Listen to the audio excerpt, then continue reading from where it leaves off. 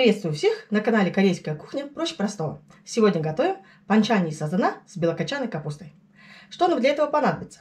Филе сазана, белокочанная капуста, острый красный перец, чеснок, соль, молотый черный перец и молотый кориандр. Филе сазана нарезаем на кусочки по 5 см, шириной 1,5-2 см.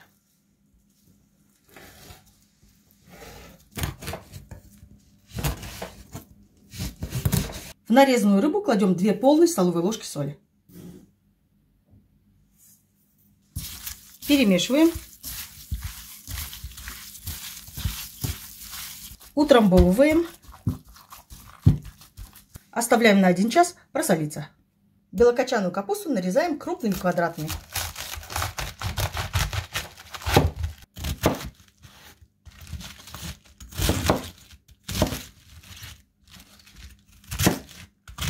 Капусту разъединяем на пластинки.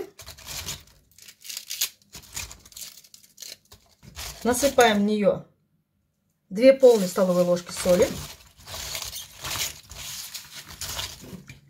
Перемешиваем. Так же, как и рыбу, оставляем на 1 час для просолки. За этот час капусту нужно будет один или два раза перемешать. Капуста просолилась. Теперь ее нужно как можно сильнее отжать.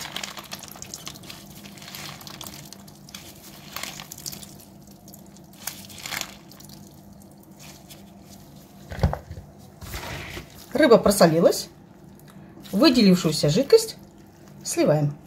Теперь соединяем в одном тазу капусту и рыбу. Выдавливаем в рыбу с капустой весь чеснок.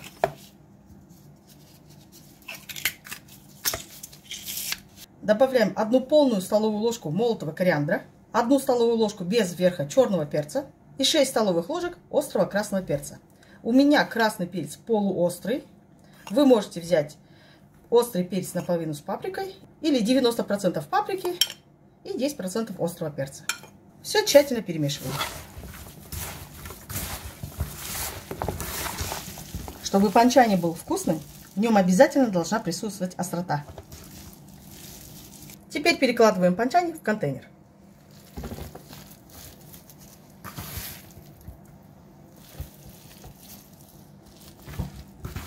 Теперь утрамбовываем панчани в контейнере так, чтобы вся рыба была закрыта капустой. Сверху обязательно ставим гнет. Примерно на 5-6 часов. Через 5-6 часов гнет убираем. Теперь оставляем контейнер с панчани при комнатной температуре на 3-4 дня, затем еще в прохладном месте на 2-3 дня до полной ферментации. Вот такое панчани должно получиться после полной ферментации. Готовность панчани определяем по рыбе.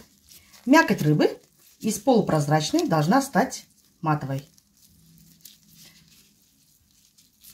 Мясо плотное и матовое.